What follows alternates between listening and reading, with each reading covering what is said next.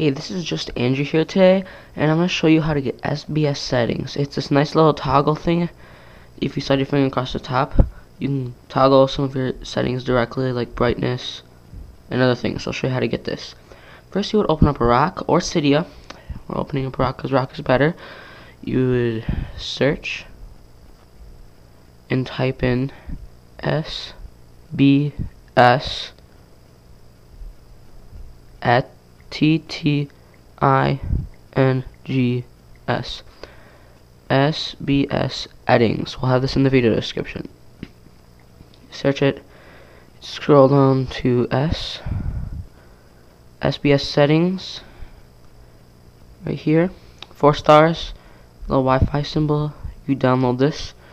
Nothing will happen except it might soft restart. So when you soft restart, it will take you back to your home screen. And then nothing will appear to be happening but when you slide your finger across the top you have SBS settings. It's pretty self-explanatory what it does.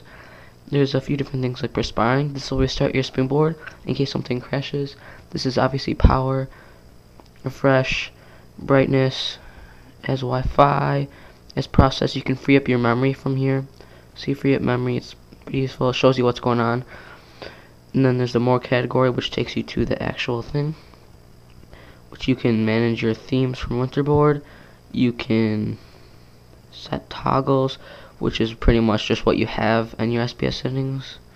You can just select all kinds of stuff there. You can dock applications which means when you go to the SBS settings you can click on dock here and it has a bunch of applications that pop up in your little dock but I don't have anything right here.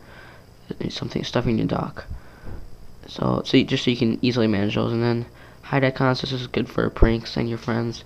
You can just hide all the icons if you want. But if you search it, they'll still happen. They'll just still appear there. But you can hide whatever you want.